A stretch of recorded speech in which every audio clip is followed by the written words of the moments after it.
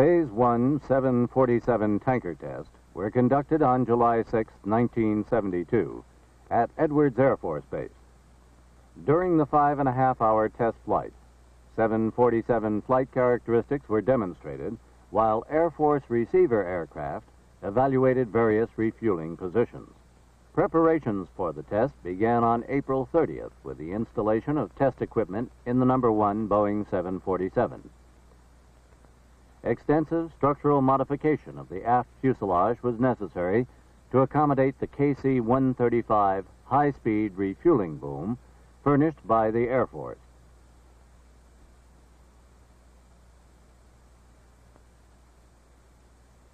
The aft pressure bulkhead of the 747 was modified to accept a boom operator's viewing window.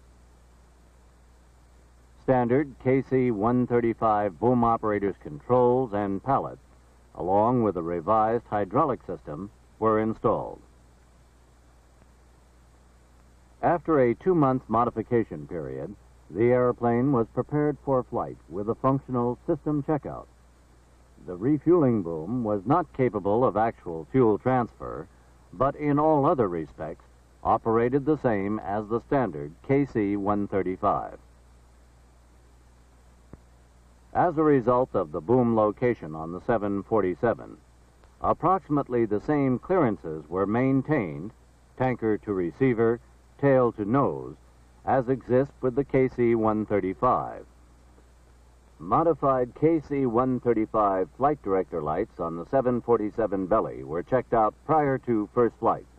B 52 testing was conducted at speeds ranging from Mach 0.67 to Mach 0.79.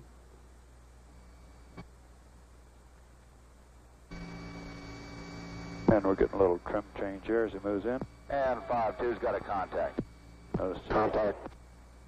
just a hair of pitch change as he moved in just prior to contact.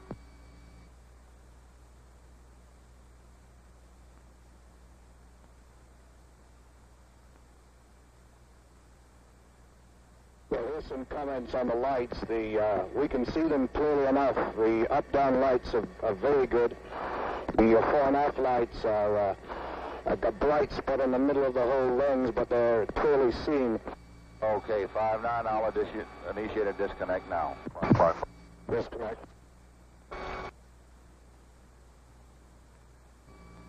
And receiver's ready. Tanker is ready.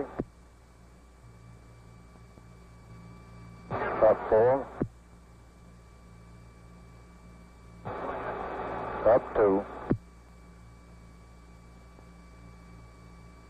Forward two. Stabilize.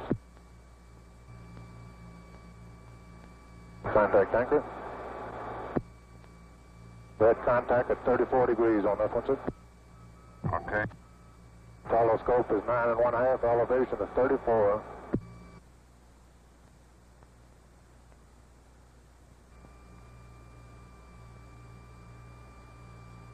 And up three.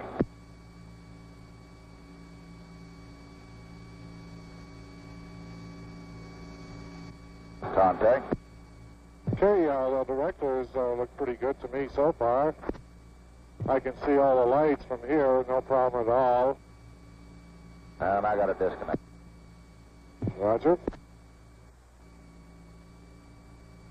No problem at all up there. I can still see all the lights with no problem.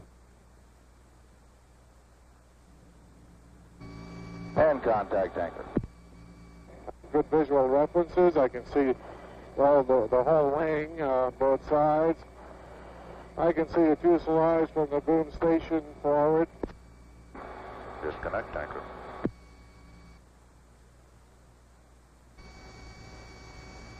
Okay, easy forward about two more feet. About one more.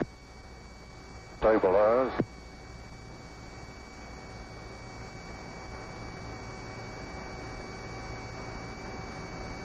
I'm indicating contact made. Clear your telescope is 14 feet. Roger, indicating contact disconnect on my count. One, two, three. Disconnect anchor. And forward three.